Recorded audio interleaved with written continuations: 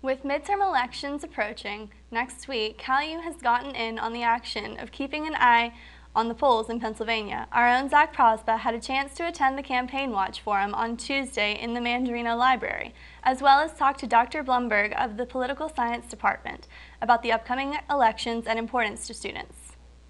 It's enormously important for people to realize the importance of elections.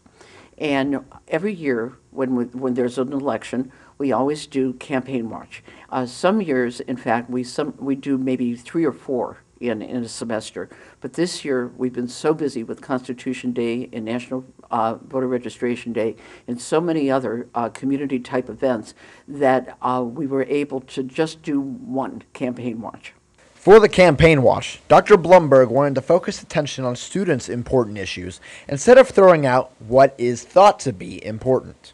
Uh, we hope that students understand the importance of voting and the importance of knowing the candidates' issue positions and what their vote means. This is their chance to articulate their thoughts and to talk about what's important to them.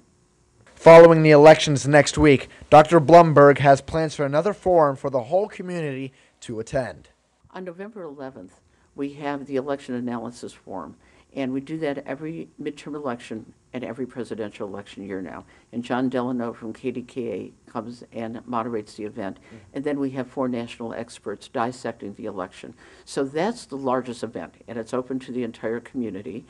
And then there's a possibility that we may do another roundtable, a follow-up roundtable after the, the election analysis forum.